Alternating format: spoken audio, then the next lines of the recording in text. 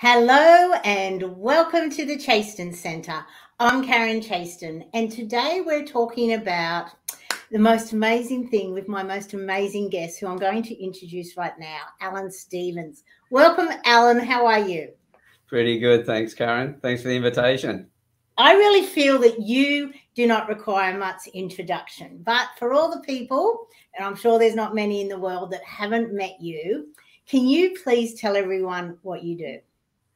Well, I'm a profiling and communications uh, specialist. And by the way, thank you for the uh, for the, uh, for putting this together. You know, what I do is I help people to build stronger relationships, and I do that by teaching them how to read each other. First of all, know themselves, read the other person, and then know how to change the way that they like to be spoken to to match the way the other person needs to be spoken to. And I do that through your facial features that tell me your personality and then uh, when I'm talking to you, I've got your body language and expressions that tell me, have I read you right? Is there something emotionally going on? And yes, are you telling me the truth? But I use that portion of it not as a lie detector, but as a truth seeker. Ah, was it the show Lie to Me? Is that what you would be doing? That would be part of it. Paul Ekman was the uh, advisor behind that show, and he was the man who did all the research on the micro expressions and he was his group was one of the first ones that I did some training with. So expand on micro uh, like micro expression. So what sort of thing is that? Because I'm I'm a very expressive person, right? Um, so so tell me on me, what would it be that you would like zoom in on? Well, the first thing, the micro expressions are, are fantastic for that knowing whether you've connected with the person and knowing what's going on emotionally. But before I even start there, you've got to have the foundation in place. And the foundation includes it's like building a house. You don't put the roof on until, until you put the foundations in place. Yeah. Your facial features tell me your personality and very quickly how they work. If you lift weights, you're going to build your muscles in your body. We also know everything we express, uh, feel inside, we express outwardly. So you put that together. When you're sitting and concentrating, you're going to pull expressions on your face while you're working. And if that's the way that you concentrate all the time, you're going to create ridges and crevices on your face. And that gives away your personality. So I so just the, the tongue hanging out when you're concentrating, what's that about? The what, sorry? The tongue hanging out when you're concentrating. I notice I do that, and my grandson does it, and it's really interesting to watch. everyone's got their mannerisms.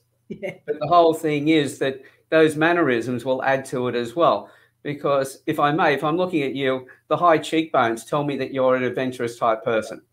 So I know that if I'm talking to you, I'm going to, if I'm introducing something new to you, I'm going to introduce it in a way in which it's exciting. It's a new uh, uh, uh, idea or something you're going to be able to get out there and do. Mm-hmm. At the same time, I know that you've got a dry wit. Well, I know that because we spent a lot of time together. But before that, just your photograph tells me that you have a dry wit. So I know any conversation that I have with you, I'll throw stuff out, you'll throw it back, and it's quite lively and, and jovial. The person with the opposite trait is a little bit more fussy, and they may sit hear what I say and take it the wrong way. And so I'm therefore it's a reminder to me just to be a bit more careful about the way I speak to those people. But first of all, there is no right or wrong trait. Every trait has an upside and every trait has a downside. The more the upside, the more the downside is going to be triggered under stress. So if I understand oh. that, I then know how to set the environment up so the other person doesn't get triggered. We therefore have a lot more rapport and therefore a much better relationship. Okay, so let's bring this into the workplace because I find this amazing because let's face it, the workplace is probably one of the most stressful places that we can ever find in this in this world. Hopefully your, your home is not stressed. If it is, let's help to solve that as well. But let's work on the workplace today because you know, there are so many people who are who feel very challenged, who feel that no one has their back. So how can they turn things around so that we do create that team dynamics workplace? Okay, I'll always start at the top because the, the organization is run by the leaders. And I always say to the leaders, look, if your staff are happy, they're going to be more productive. They're more productive, you're going to make more money. And as I say, somebody who's not happy, your performance can drop by well, 70% if they feel like they're being bullied, 40% if they're watching somebody who is acting as though they're being bullied. So it's a lot of money you're losing. So the first thing is put your focus on your staff. As they say, if you put your staff first, they will then put your customers uh, first themselves, and that's how you look after your customers and uh, grow your business. So in doing that, and then you can work on your business because now the people who are working in the business for you, they're working with the customers. So that's the first place to start. So priority, make sure that you understand your staff and talk to them in the way that they need to be spoken to. Then you know where their strengths are. You know what tasks to give them that they're going to enjoy more and therefore be more productive. And if they're more productive and they're happier at what they're doing, they're going to go home happier as well. And the other thing is also let your staff have conversations with each other about idle chit chat because the most successful businesses are the ones that have two thirds of the conversation are about what happened on the weekend. How are the kids? What's been happening in your life? Because this is where we build rapport with each other and we become a, a solid unit. But if you're just working on the work stuff, everybody's separated. Yeah, that's true. Yeah. I can remember in my corporate life, one of the things that we did to bring our senior managers together and to be on board was for us all to actually spend a day in each other's jobs so that we mm. could understand exactly what they were doing. Because a lot of the time you just think you're in your own little world and you don't even think about everyone else. But we all require each other. You know, it's a chain of events that has to happen in order for that that product to be sold. So how, yeah. how do you foster those relationships? You know, it, do you teach people to read everyone else's face? Yep. Everything from uh, their spouse, their children, to everybody else in the organization knowing that there are three uh, major uh, uh, rules that I have when it comes to reading people. There's about seven secrets, but the first three know yourself, know where you are on the world scale, know how to read the other person and recognize where they are on the world scale, and then change the way you like to be spoken to to match the way that they want to be spoken to. In other words, tune your transmitter into their receiver. That way they understand you and you can build the uh, those relationships. But as you were saying a moment ago, with the spending time in somebody's job for a day, yeah, it might be really frustrating when you do it because you think, oh my God, I hate this work. But now you know the work that they like to do. So that's stuff that you don't like doing, you know who to give that to. And they, mm. they will then give you the stuff that they don't like doing that you like doing. And this is how you build your relationship stronger again. Mm. The more you mm. understand the other person and also understand yourself, the more uh, you're going to be able to build strong relationships. So, does our face tell us what people like to do, or is it just from spending time with them that you get to know that? No, you can pick up even in a young child. There are three areas I'm looking at. I'm looking at the sports, the hobbies, and the careers. And mm-hmm. so, as you're looking at a young toddler, for instance, I can already tell you what they're going to be like before they get to school. So, when they do go to school, how they're going to fit into the classroom, whether they're going to fit in or not into the system. We also know what hobbies will suit them as well. But before they pick their final subjects, there's a lot more traits that are starting to develop on the face. And as they're developing, we can understand the things that they would like to do, and therefore we can work out what careers will suit their personality. And before they pick their final subjects, not tell them what to do, but direct them to go and have a look at the job guide and check these particular jobs out and work it out for themselves. You're now giving them ideas on how to find what careers will suit their personality. Because how many people get told by their families, you should be this? They yeah. go to university, they put all that work in and study and hate that, but then they go and work in the career if they even get to the uh, doing the career, and they go, no, I don't like this, mm. and so mm. you waste all that time. But if somebody was able to say to you earlier on, your facial features are telling me that these are the things that you love to do, is that right? And they go, yes, and they go, right. Here's a couple of jobs that may fit that. Go and check these out in the job guide and the person looks at that and goes, Yeah, this is what I love to do, then they pick the subjects that are going to be required to do that work. They're more likely to be successful with that and enjoy the study. And then when they get their degree or uh, qualifications, whatever, they will then go off and work in that field. And if they're happier, then now they've got the career that matches their personality. They're happier in their work, they're more productive, therefore, the company makes more money. They go home happier and they're getting on better with their spouse because they're not going home and whinging about what happened at work and what they don't like about their work. Yeah. happier as well. So everyone in the cycle is looked after. That is so true, Alan. I can remember meeting a guy years ago, probably about five, six years ago. He was a QC and he had achieved it. And I said to him, Oh, wow, what a great career. You've done so well. He said, Yeah, but I never wanted it. He said, I wanted to be a musician. My parents wouldn't let me. They made me go to law school. Sure, I succeeded, but my heart was never really in it. So imagine living your whole working life where your heart isn't even in it. You, know, you can imagine the impact that's had on your body and uh, your health because everything we think about, we create chemical reactions. And if they're negative thoughts, we're not happy, that's affecting our body. Yes, you do yep. need a paid job then because you've got to pay for your medication. Yeah, it, it just creates so much disease in your in your body, and it's so true. Your cells are vibrant just the way you are. If you're getting out of bed, excited what we're about to do, and we always do that, don't we, Alan? We I certainly do. do. Yeah, exactly. So coming into the workplace, like how, how do you how do you work? Do you start with the leader, or do you bring it down, or what, which is your ideal way in, in the workplace to establish, you know, these long term, lasting relationships? Because that's what, at the end of the day, they do become your family. The workplace. That's it. Well, if if we look at a, a dog, for instance, the tail wagging doesn't wag the dog; the dog wags the tail. And so mm-hmm. when I go into an organization, you've got to start at the top because your executives have got to know what's going on.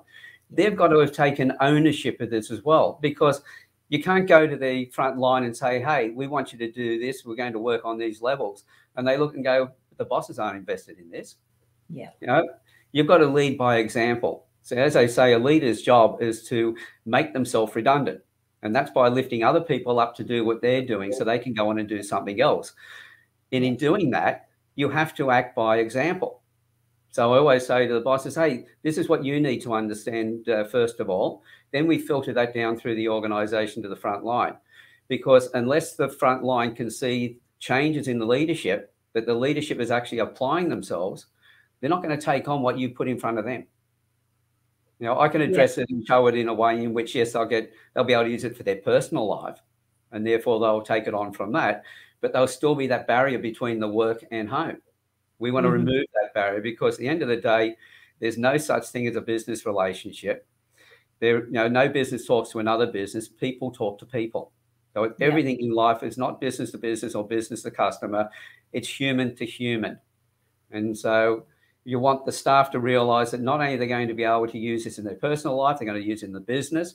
We want the bosses to know that they're looking after their staff so their staff can go home and use that at home as well, which means they're going to be happier at home, which means when they come back to work, they're going to be happier. Mm-hmm. Everything's connected. And that's what a lot of people don't seem to realize. We isolate and say, here's a little silo, let's fix this. Well, how does that impact on everything else? And you need to step back and have a look at that. And let's face it, the owners of the business should be the visionaries who can actually step back and see all of that. So we yeah. have to start with them. Yeah.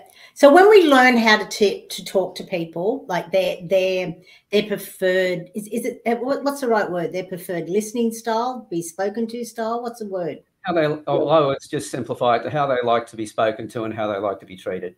It's not a okay. case of treat others as they you would have them treat you. That's right. Okay, when it comes to being respect and things like that.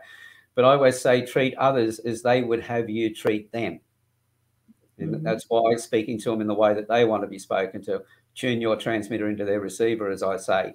You know, treat them in the way that they want to be treated. So let's give them an example of that. Okay, so uh, like looking at each other, right? Obviously, we're quite different. We look quite different. Um, so, do you want to give an example for people who are listening? Well, I know that uh, you know you're analytical. When you uh, receive information, you like to analyze. How do you know that? This is in the exposure of the eyelids. Now, we've got it small on screen here, and also you've got your makeup on, but it looks like the, the, the what we call an epithelial fold. The eyelashes go up under that little fold. Yeah. That's somebody who's analytical. When you look at somebody and there's no fold there at all, they close their eyes, they open them back up again, and there was no eyelid going underneath, there was no fold of skin with the eyelid going underneath it. This is somebody who just wants the overview. Okay. So being analytical, if you speak to somebody, how many times have you spoken to them and everything's been going fine, and all of a sudden they've switched off? Yeah. You've given them, you've already given them the information they need, but now you're giving them extra information that you would have needed for yourself to make a decision. They've already made their mind up. And if you keep talking, you end up, as I say, you've you've sold them in the front door and now you're walking out the back door and unselling them again.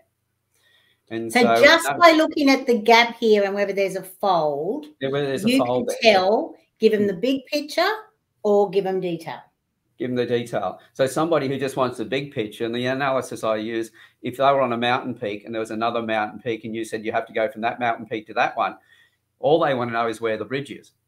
Yep. But the analytical person, you tell them that they will want to go down the mountain, picking up information, go across the valley, pick up more, and before they go up the other side, work out whether they want to go there or not.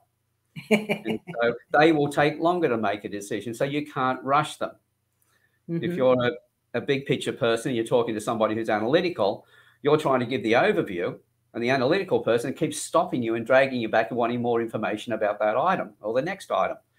Yeah. So with them, it's quite easy. Look, I've got a lot of information here, and I know you're going to have a lot of questions, but so I don't forget any of this. I want to put it on the table first. So I just want to give you an overview. Is that okay? Oh, the analytical person talking to the big picture person, look, there's a lot of information here, but I'm not going to give you all the information. I'm going to let you ask the questions that you want to ask. But if there's something there that you haven't asked, is it all right if I tell you that then? So that person now knows they're going to be spoken with. They're not going to be not talked at. Yes. And it puts. But isn't that a good way for every to speak to everyone, whether you know that or not? Is Sorry? given the big picture, and isn't that a good way to speak to most people? Given the mm. overview and then go into the detail if they so choose it. Yeah, but frame it up first because if you go to the, the, the overview with somebody who's analytical and they're cr- very critically analytical, and depends on a combination of their other traits as well, because not one trait defines you. We need to understand each trait, but then we look at how they, the traits come together, and that, that's how the personality is created. So if you've got somebody who's got what I call a mental motive, needs all the look at all the possibilities first. They've got a high detail concern. They're analytical they're going to want a lot of information to get them to make a decision is going to take a long time. And mm-hmm. so you, if you know that, you don't know not to rush them.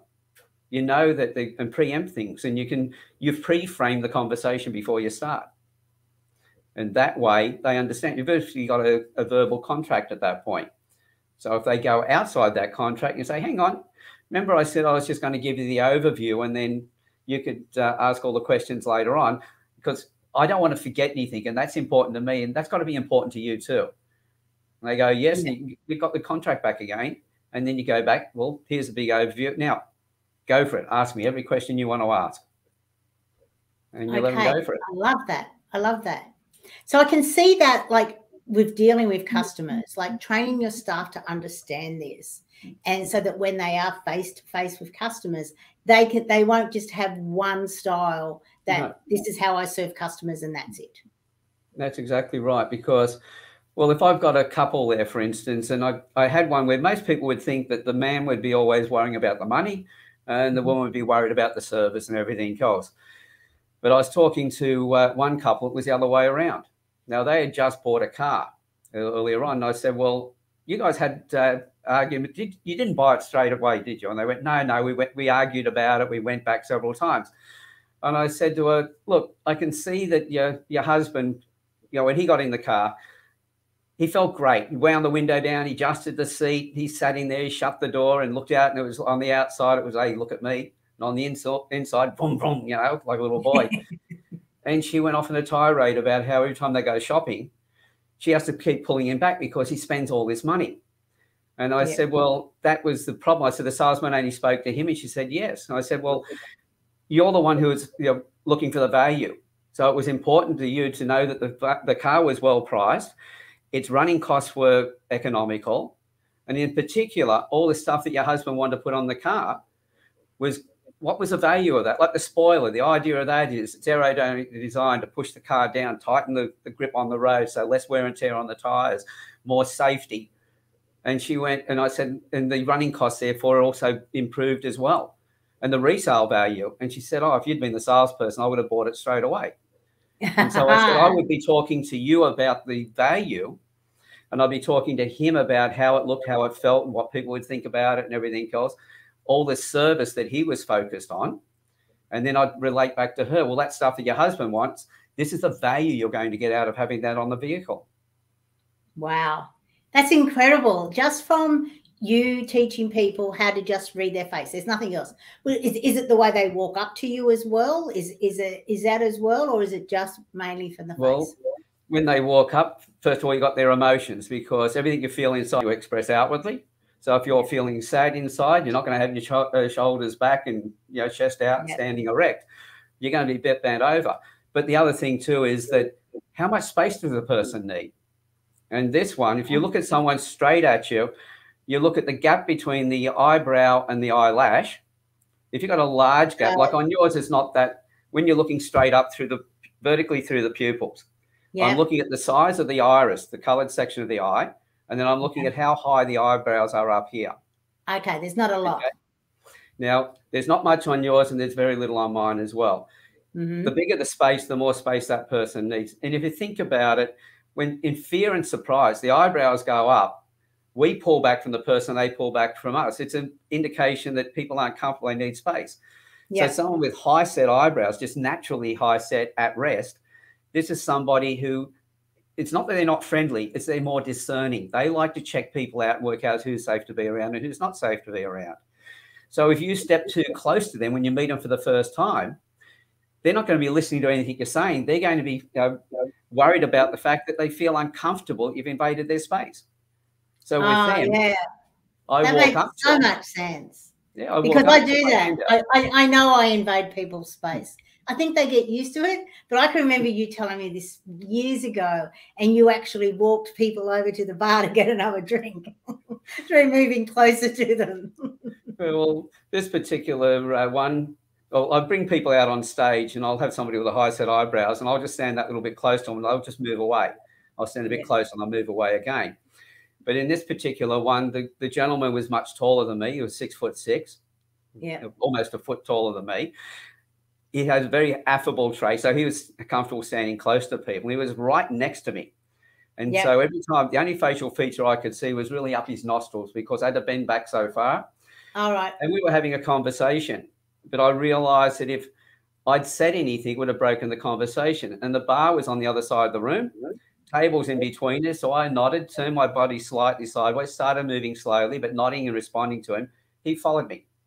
Yeah. When we got to the bar, it was the barman who interrupted our conversation by saying, What would you like to drink, gentlemen? Now, once we had the drinks, then I was able to hold it out in front of me. So he couldn't stand that close to me because he would have been up against a glass. So that's yeah. how I got my space back. But the only reason I needed that space is because the difference in our heights. Oh, if it had been my height, I wouldn't have had a problem with it. Yes. Yes. Yeah. That's that's so good to know because it's not just one size fits all. And it no. is about learning this. So we're running out of time as always. I could talk to you all day long because you're so interesting. So where like where can people find you and and what is the number one advantage like apart from what we've discussed of why this is so important for every human to understand. And why isn't it taught in schools? Yeah. Well, the most important thing is, you know, as I said, the first uh, thing it was understanding yourself. If you know your traits, and by the way, every trait's got an upside and every trait's got a downside. Yeah. You I've got some great traits, but they're also doozies when it comes to relationships and other things. If I mm. understand the downside of my traits, I know how to set my environment up so that I have dominion over my traits. They don't control me. That's the very first thing. Once I got that, I start living much happier. And therefore, the connections I have with people without doing anything else, they're improved. Mm-hmm. The way people can find out more about this, if they come to my website, which is alanstevens.com.au, go to the uh, success story page and they'll see a lot of examples in there where other people uh, get that um, get the results they've got.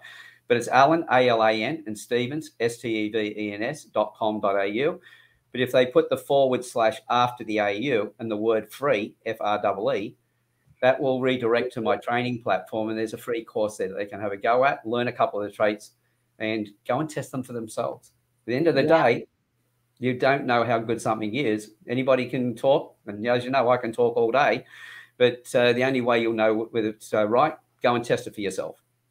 That's amazing, Alan. And you know, I, I I've I've been touching on this for a long time. I really do need to deep dive into it more because I do use it, but not as much as, as I certainly could. And but I just love it. It's so interesting.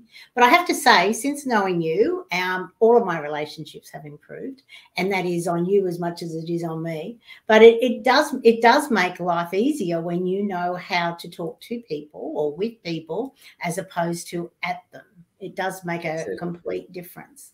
And it's, you know, it's up to us to change our mm. style. It's not up to trying to change someone else. It's it's only us who, who we can change at the end of the day. Yeah. So why isn't this in schools? Uh, mainly because I think originally psychologists had a system called phrenology, which were bumps on the head being serial killers and things like that. You know, it was about character. And that's still stuck with that idea. But I've found that, uh, well, we're talking about the facial features, which is personality, which is completely different. Personality is how somebody likes to think and process. Character is what they're thinking about and processing. Okay. Two different things. But um, uh, my youngest student at the moment is my 13 year old granddaughter. She's now mm-hmm. become my business partner, which is my st- first student at the age of 11.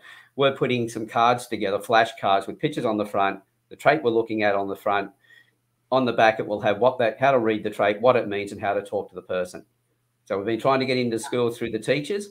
Well, we're getting it through the schools through the kids. And let's face it, yeah. they're the ones that are going to lead the way. Yeah, that's amazing, Alan. And I, I just know it'll make such a difference. But yeah, imagine if a, if a teacher knew how to talk to this child as opposed to another and not this is my teaching style and that's it. You know, those kids who are being left behind wouldn't be left behind because they would know that's that it. they didn't understand what Well, I've got uh, clients who are still doing testimonial videos for me 10 years later where yeah. I've given them information, they've taken to the schools, the teachers have put it in place They've been able to reduce the medication their children are being on. Others who have just had uh, the regular kids, but their relationships are so much stronger. As I said, you te- talk to somebody in the way they need to be spoken to, everything changes. Yeah. And it's very it much the same with children. Yeah. So would this take bullying away? Would it would it enhance it? Yeah. Well, one boy I trained, he was 15 years old at the time. I asked him how he was using it. He said he was uh, using it to profile the other uh, students. And I said, well, how's that going? He said, I now understand them. And I said, and what's it, that understanding giving you? He said, tolerance. Oh. Because bullying comes from not understanding. You educate, yeah. people understand somebody, they don't want to uh, bully them anymore. Oh, I love that. So, this is one of the reasons why I want to get into the hands of the kids because picking on bullies they became bullies because they got bullied somewhere down the track. So all you're doing is persecuting them further and creating an additional problem because they'll find another yeah. way of getting to you. That's how cyberbullying came about. We stopped yeah. it in the playground or reduced it there, and it came out in cyber. So the way to change that is to improve the communications and through the understanding first of all. I love that. Patience and tolerance. That's what you're mm. creating in the world. Isn't that amazing? It's something I never had as a kid. I, I, am pretty sure that's my whole lifelong goal: patience and tolerance. I think I was told that very, very early on in my journey, but and I am getting better. I am definitely getting better. Thank goodness. well, Alan, thank you as always. This has been very enlightening, and I just love talking to you. Is there anything else that you would like to say to anyone who is watching today? Because this can be used anywhere, professionally, personally you know, even just to get to know yourself better, you know, and as you said, to understand the shadow side of your traits as well as the enlightened side of your traits. That's it. Well, as we said, it's it's it's the foundation of everything we do in life, relationships. So it can be used everywhere in your, in your life itself. But I always like to point out to people, you'll hear about this stuff and you'll either love it or you'll be doubting it. I always say to people the most important thing you'll ever learn is the next thing you learn after you think you know everything. So keep an open mind. Look at everything, test it, and trial it for yourself. That's why I have that free course for you. But at the same time, everything we do for ourselves dies with us, but what we do for others and for the community isn't always will be eternal. So mm. By just working on yourself to become the best version of yourself impacts on everybody else as well. So looking after yourself is not being selfish it's being selfless because we're always going to be interacting with other people, whether we like it or not. That's just life. I totally agree with that. And I think that is a perfect way to end our conversation today. Thanks, everyone. Reach out to Alan, alanstevens.com.au. I am sure that your life will never be the same after you chat with Alan. Bye, everyone. Thank you. Bye bye.